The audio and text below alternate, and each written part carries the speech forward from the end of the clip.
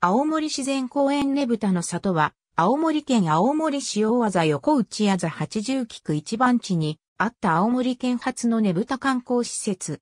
2013年12月9日、入場客の減少を理由に事業を停止し、裁判所に自己破産を申し立てることになった。1977年にオープン。法人名は株式会社青森自然公園ねぶたの里。ねぶた会館はねぶたを展示する施設。キャッチコピーは、青森ねぶた祭りの体験施設。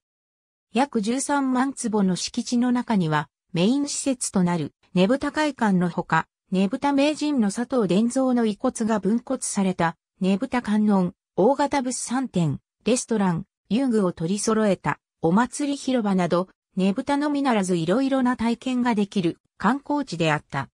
この付近一帯が女王、アミシュとその弟、富喜び率いる蝦夷の集落であったとされ、坂の上の田村丸がこれを攻める際に、巨大な人形を用いたというのが、ねぶたの起源であると伝えられていた。しかし平成に入り、田村丸は、史実の上では、現在の盛岡市までしか達していないことが広く地元、青森市民に知られるようになり、この地の由緒が失われた。